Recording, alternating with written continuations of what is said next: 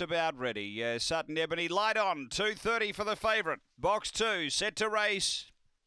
We're ready. Racing, uh, pace coming from Bella's Flower flew out, goes through to lead by two early on Slippers Tick and Home Invader. They were followed by Sutton Ebony back nearer the inside. Uh, then Spring Pony, Sizzle and Shine. Home Invader drop back. They race down the back and Bella's Flower led by a length and a half. Slippers Tick and about a half to Sutton Ebony. About four or five to Spring Pony and behind those came Sizzle and Shine up to the turn.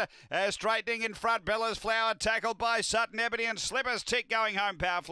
Slippers Tick goes on to win. Second, Spring Pony through late. Uh, then came Sutton Ebony. Uh, they were followed behind those by maybe Home Invader to grab fourth from Bella's Flower, who just got tight in the last bit. Uh, then came uh, Sizzle and Shine back at the end. Time here is around 31 and 10.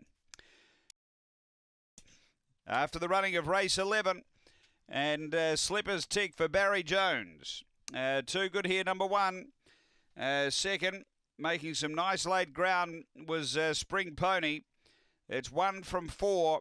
Uh, third home, number two, Sutton Ebony. And uh, fourth is number eight, which is uh, Home Invader. It's one, four, two, eight.